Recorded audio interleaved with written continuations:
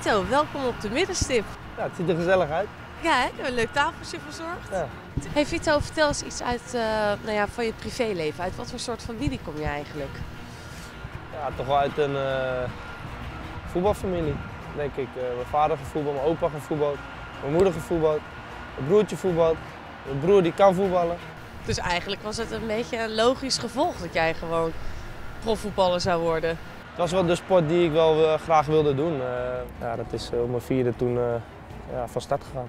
Maar op je vierde stond je waarschijnlijk gewoon maar liefjes te plukken vanaf het grasveld. Nou ja, volgens mij pas kwam ik iemand tegen die was toen meegegaan naar de eerste training en toen scoorde ik mijn eigen goal en toen ging ik juichen. Dus, maar het is hartstikke leuk. Ik mocht nog geen wedstrijden voetballen, maar ja, omdat ik wat talent had, mocht ik al wel met de grotere jongens meedoen.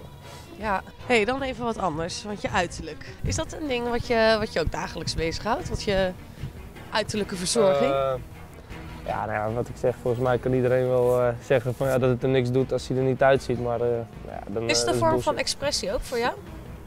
Ehm, nee, ik ga niet speciaal naar de tattoo shop om tatoeages te zetten om, om er stoer uit te zien. Helemaal niet, nee. Ik doe het omdat ik het mooi vind en omdat er een betekenis bij me achter zit.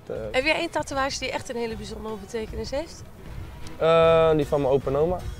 Die, eh, die, is, eh, ik ga ze niet laten zien, want Nee, het is hartstikke koud. koud. Maar Eh, waar zit en ongeveer? Voor de... Om, om, om, ja. die kan ik wel een klein beetje laten zien. Het zijn Ja. de namen van mijn opa en oma, overleden.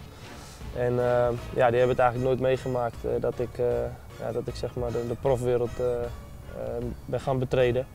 En hij stond wel altijd voor me klaar bij Dovo. Hij bracht me altijd, of vaker bracht hij me. Je speelt al een tijdje bij, bij ADO Den Haag. Nou, de club is jarig, bestaat 110 jaar. Wat Ja. is jouw mooiste moment eigenlijk van de club? Eh, mijn mooiste moment. Eh, ik denk toch wel eh, mijn goal die ik hier maakte. Bij mijn thuisdebuut. En ja, toch wel twee keer een mooie negende plaats. Ook, ik denk dat dat ook wel ja, in één, één constant seizoen, één roerig seizoen, dat het wel weer streven is voor, voor dit seizoen.